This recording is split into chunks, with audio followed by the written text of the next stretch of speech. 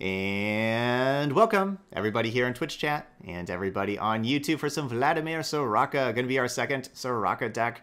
Now pairing Soraka with Vladimir and the Crimson uh, units, all of them. We're going to see how these work together. You know, still trying to find our home for Soraka and Star Spring. Um, I'm a little worried this deck's going to be too slow, but we're going to try it out. So basically what we have going on here is the Crimson units want to uh, want to be able to deal damage to themselves because they give you some different bonuses. Certainly Crimson Curator is probably going to be the most important because whenever it survives damage, you get to start creating some more Crimson units. And so our Crimson units, since they're going to be dealing damage to themselves, you know, they'll be they'll take damage until they need to be healed. And so Soraka is going to be healing our allies, and especially Starspring, right? Because each round our Starspring is going to be able to heal our allies one, and that's kind of what we're doing. Is we're basically doing just one damage to our unit so we can uh, keep on healing them. Um, so it's a good combination because with Starspring and with Soraka, you want to have allies that have been damaged, right? Because if, if your allies have full health, then Star Starspring's not going to really be doing anything because it's not going to be healing anything. So that's what we have. We're going to be combining those together. Crimson Awakener is going to be a real important one here. Summon, do one to all other allies immediately, and then and at the end of round, Starspring will heal them back. Vladimir's attack will be dealing damage to all of your allies that are also attacking, and then whatever one survive, of course, will heal them back. So let's try it out. Let's see if these work well together. We're going to go play five games over in ranked. See how they do.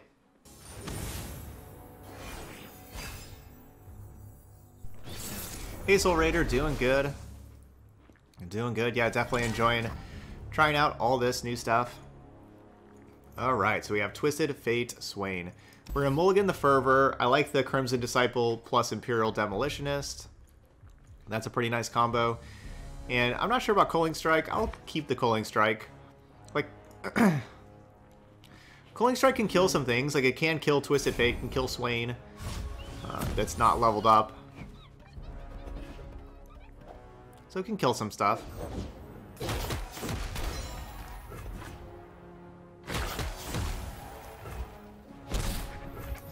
Why doesn't Soraka say when I've seen you heal damaged allies four times? Yeah, I'm not sure. They just they went with that other wording. So yeah, Soraka can just be in your deck. You can just ha have it in hand, heal allies four times, and then play leveled up Soraka. So it's not too difficult to play a leveled up Soraka.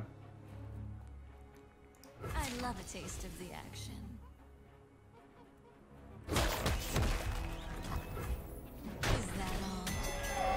So I know they can fairly easily kill my Crimson Disciple now, but still, you know, like we um, already traded with one spell with it. I think that's worth. I think that attack's worth it. You pay. I talk to spirits. These are my rules. Make it rain is a problem, right? Like if I play Star Spring and then they just play Make it rain, that's annoying. I'm just gonna pass. It's a tough choice. So I don't really want that to happen, and then we take a whole bunch of damage. Let's get a good look at you.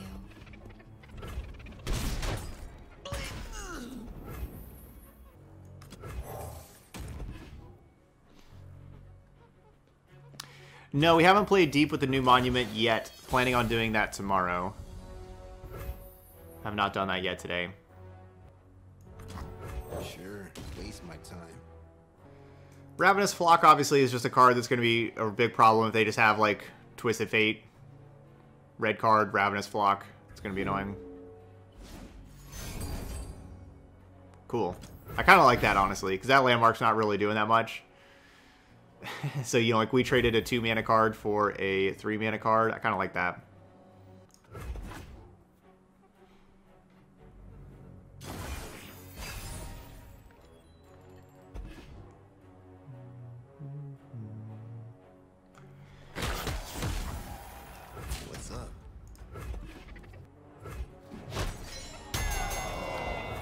On their Ravenous Flock. Looking for some action, Ed? Blood exists to be pumped, no?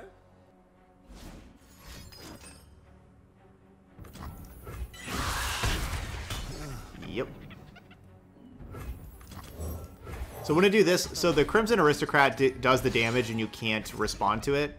So I want to do that instead of the Imperial Demolitionist, where if I go Imperial Demolitionist to try to target, they could kill my Crimson Curator before that happens. I want to make sure that we uh, get a free unit in hand first. Is that leveled up Swain? Dang. So keeping Culling Strike not looking like the best thing right now. I like your style. I like your face.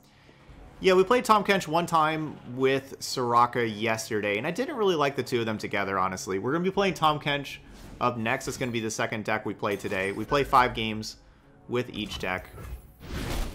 So that'll be the second one. Um, Remember the objectives. Yeah, they've had the control hand, right? It's just been all removal over there. Wow. It's just been all removal. Clear it out.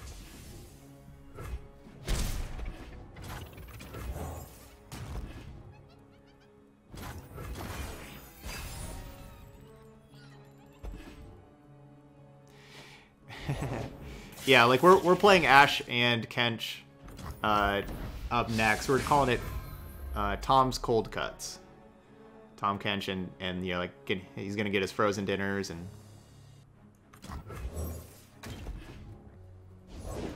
I don't change fate, but I can see it. Let me guide you. I need a rubber chick! so they've played two Ravenous Flocks so far. So it's not super likely they have another Ravenous Flock, right?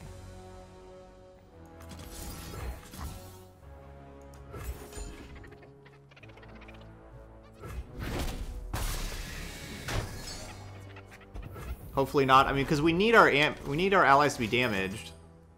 Oh, just another Scorched Earth. Because we need our allies to be damaged for Star Spring, so it's just... We're in our Catch-22.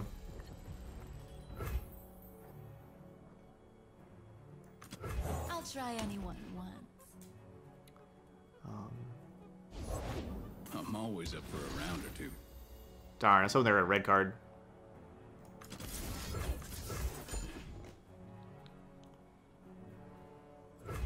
Eyes open.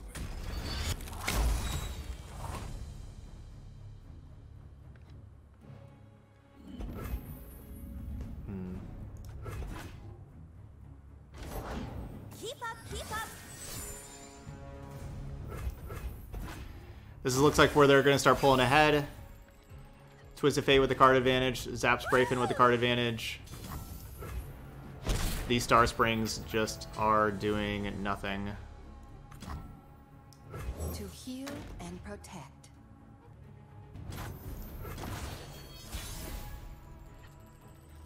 Hmm. By starlight. Blast them. Delish. Live with purpose. We still haven't even healed an ally once.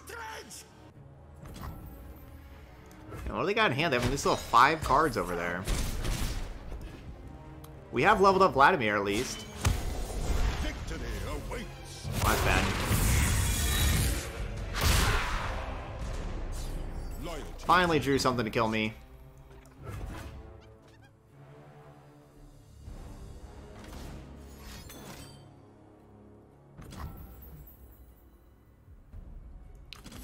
Finally drew something to kill me.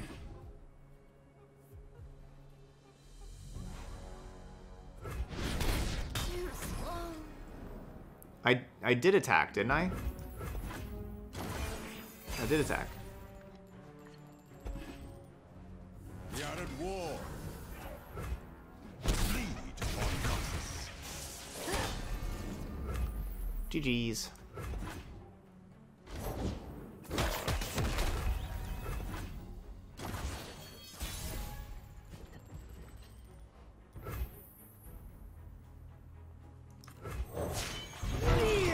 Vladimir can block Swain, but I I still, you know, I imagine that the four cards in hand can do the five damage to me or you know, be able to clear this up. Such little lives. It's just blood, darling.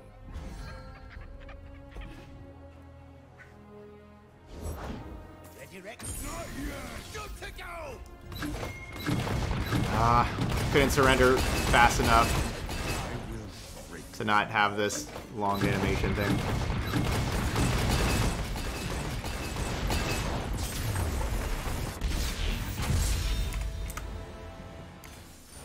Pretty worried about our, our deck with that kind of, you know, just like our, our late game, our late game looks really weak. Um, especially how, like, how that looked.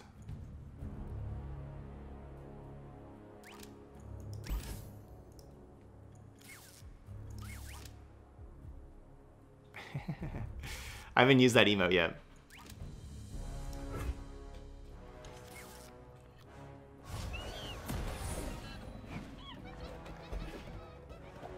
Yeah, that animation's still just yeah, it's too loud and too long. The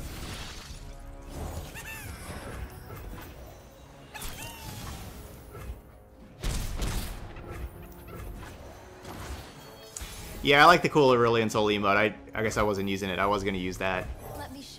Let me show you what That I Aurelion Sol emote's pretty good. Uh, have we played Shyvana yet? Yes. Shyvana was amazing. I, I still think Shyvana is the best champion in the set. Like I said to begin with. Oh, whoops. Wrong, wrong link. Uh, it's up on the YouTube channel now. Uh, our The Shyvana video from yesterday.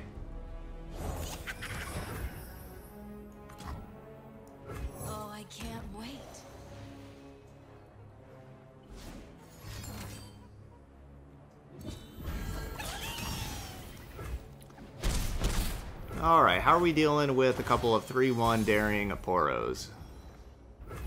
Ooh. Remember the objectives. That could be good. The Empire Craft. We'll use like removal on our on their attack turn, not our attack turn. Rules are made to be broken. Like this. Our people.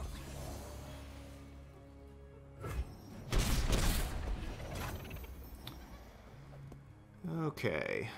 So Jinx also, of course, a problem. Definitely considering going just Noxian Fervor here to kill Jinx. Um,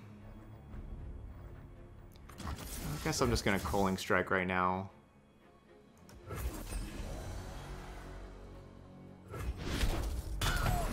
I don't feel like the Star Spring matters much that I need to spend two mana on it, like with uh, all the rest of the things we need to do.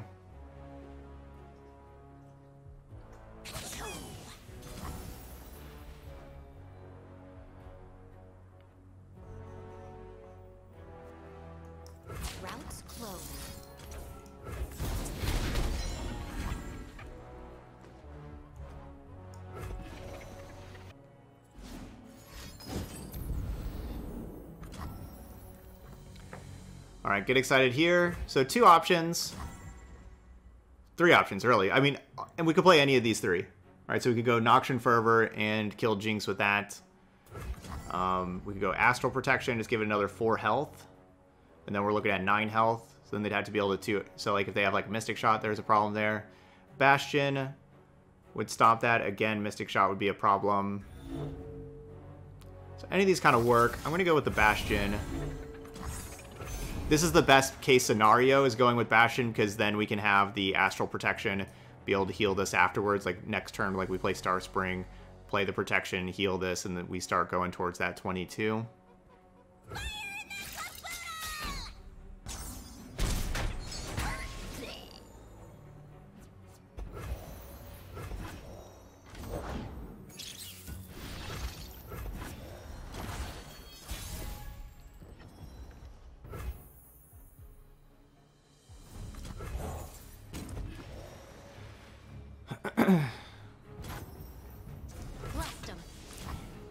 This just gets blocked by one of these things. Kind of want to just pass. Yeah, I'm just gonna pass. With them not using that six mana, I don't really feel like getting into a fight here and, and them having that mana. It's Draven time. Oh, that's kind of rough because that stops my Culling Strike with the spinning axe stops Culling Strike. So that's a little rough.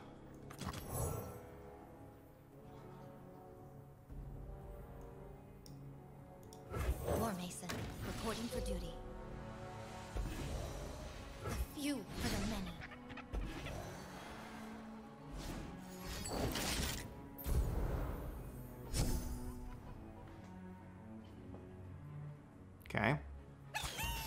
Axes. No more. Um, okay. Block here. Protection that. Which I guess I could use it on the. Yeah, I guess maybe I should just be using it on the the Crimson Disciple.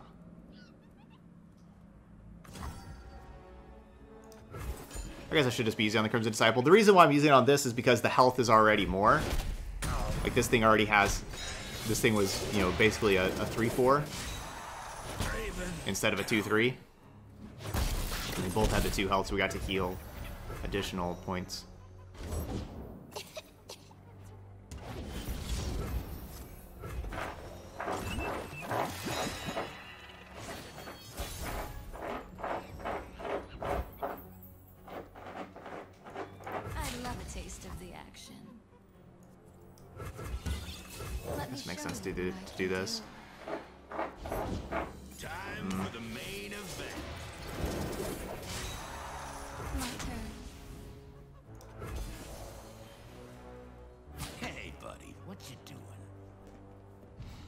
Maybe it didn't make sense. Time for the moneymakers.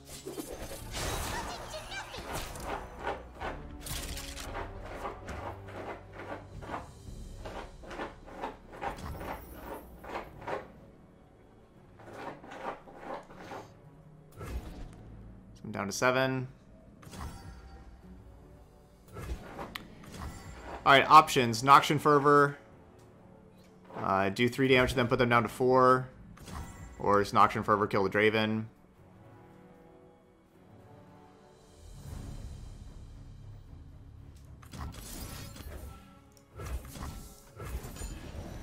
Gonna kill the Draven.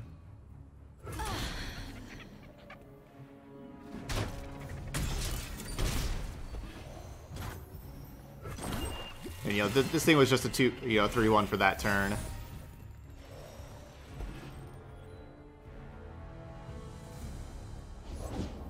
The worst that could happen?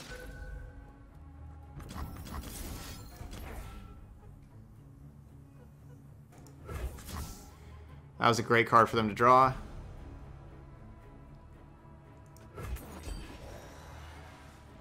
See, our deck just runs out. Our decks, our top end just isn't isn't good.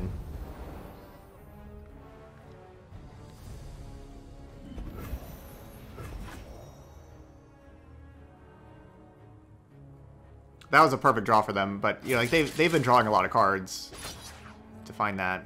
But They've done a good job of the last couple of draws of you know finding more Dravens and now that thing, so that gives them three extra cards.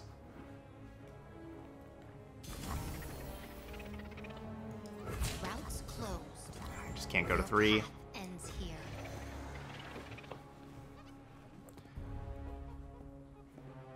Yeah, the, the landmark has really been underwhelming, hasn't it?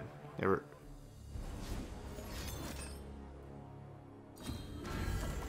What? Could they just kill me? Yeah, that would have just killed me if they would have just gone the Spiderling. I have no cards in hand or anything.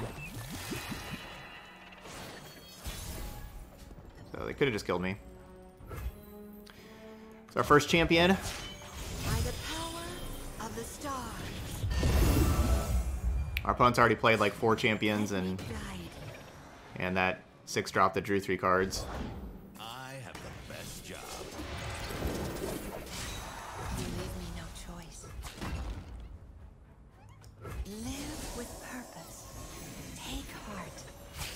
Alright, we're drawing champions. Got an axe with your name on it. That's good.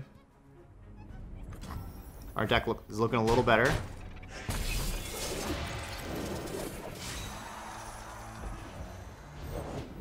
Rules are made to be broken.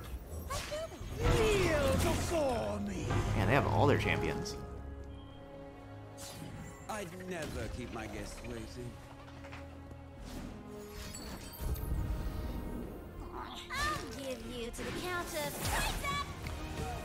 So we have Guiding Touch in here, right? Yeah, we have three Guiding Touch.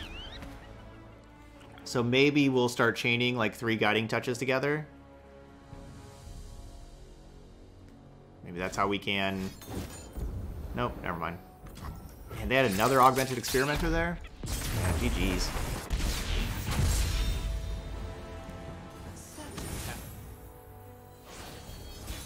Alright, playing against Shyvana plus Leona.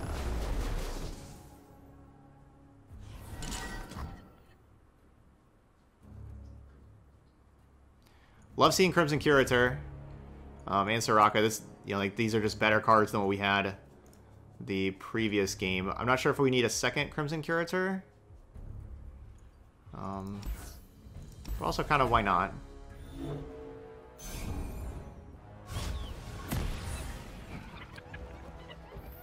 Yeah, that that last game, yeah, we we did just draw all two drops and no no top end. Um, My faith protects me. the thing is, there's not there's nothing that's like fantastic to play top end wise in our deck.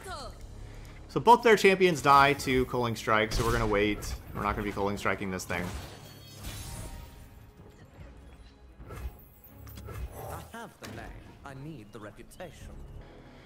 But yeah, last game we just had like two threes and Noxian Fervors. That's, that's kind of a difficult combination.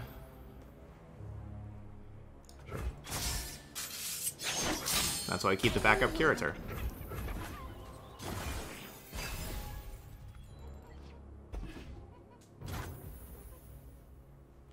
That's such a fast, such a fast pass.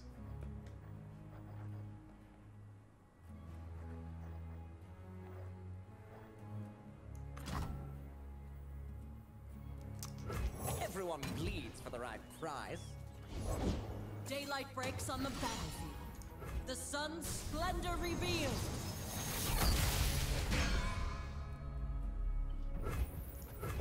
Stand and fight.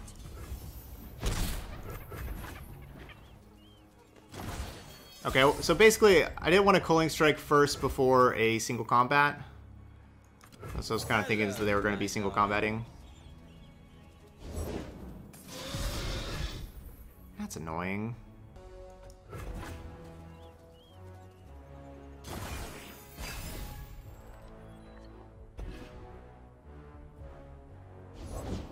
Fire and fury burn in me.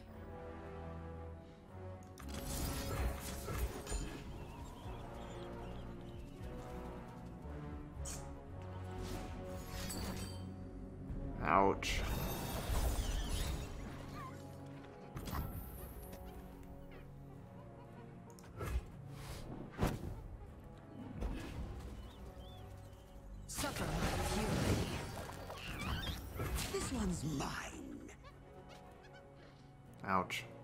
I mean, so I I can block the, the Shyvana and try to Noxian Fervor and, and kill Shyvana.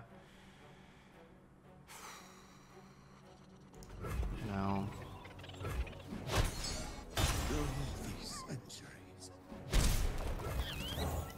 By all means, get in my way.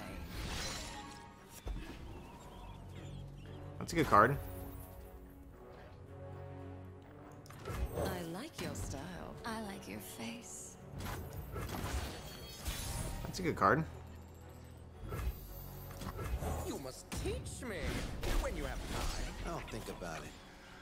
Keep on getting more of those.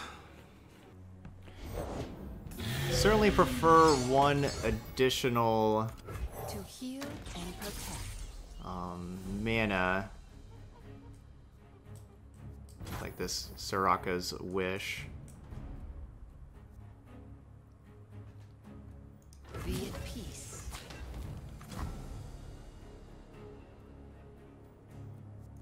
Yeah, whatever. So they can have the 7-5 kill my Soraka. Um, but then this thing's a 5-3. So then if they want to kill my Crimson Curator, they have to block with a champion. Guess that's worth it.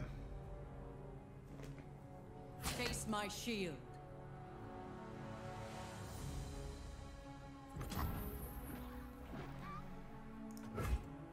I don't know. That could just could have just been a really bad decision.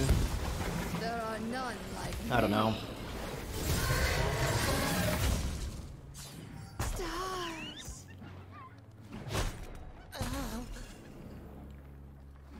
I wish that Culling Strike would have worked on the Shyvana. Definitely wish that.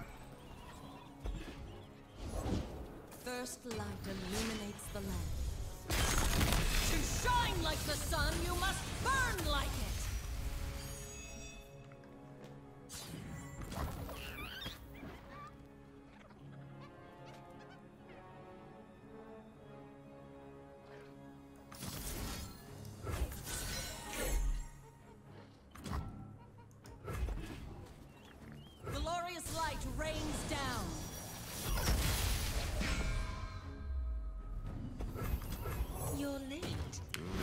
that levels up Vladimir.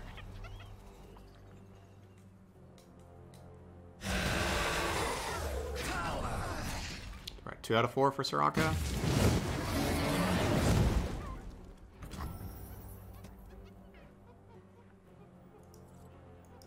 What's up? Come here, Don.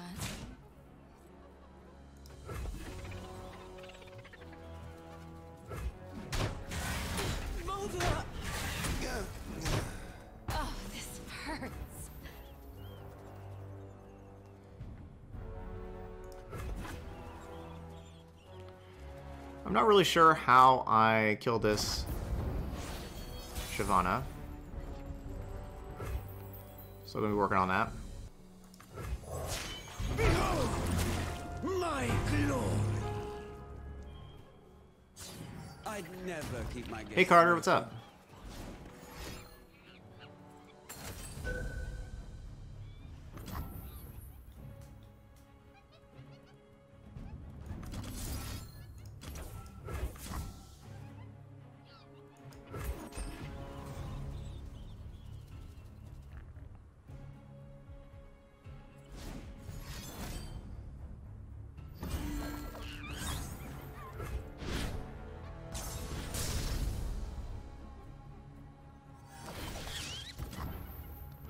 Behold the sun's holy light.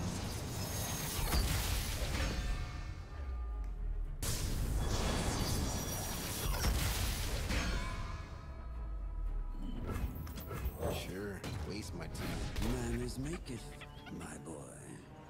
just doesn't look like our deck's powerful enough. Our deck just, you know, like that's really what it looks like. Like our, our deck just isn't very powerful.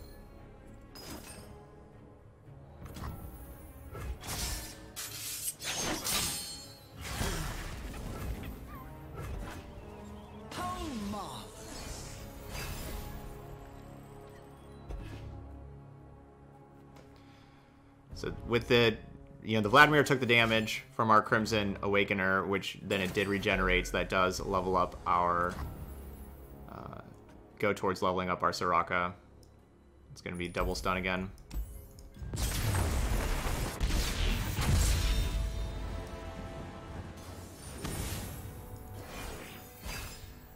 All right, playing against Soraka Tom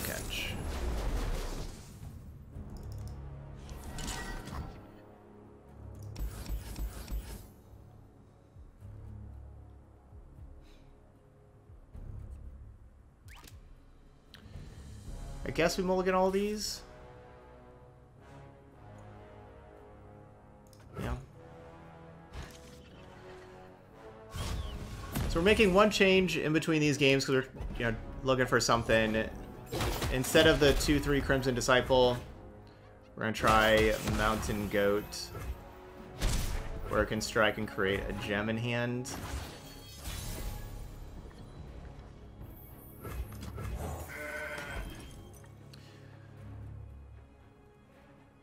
It's not as good against two, you know, just generic tutu though. It's a big responsibility to shepherd stars.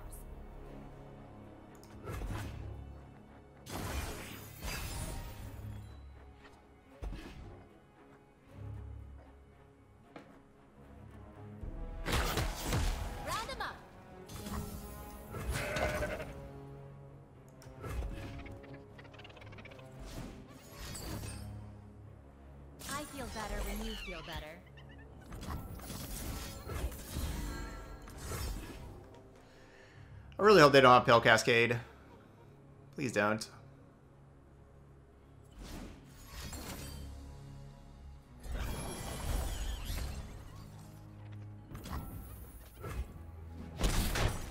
That is just a killer.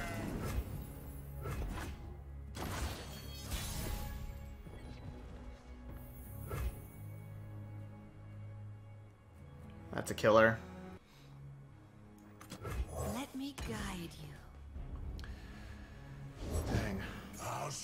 Scrutinize something scrumptious.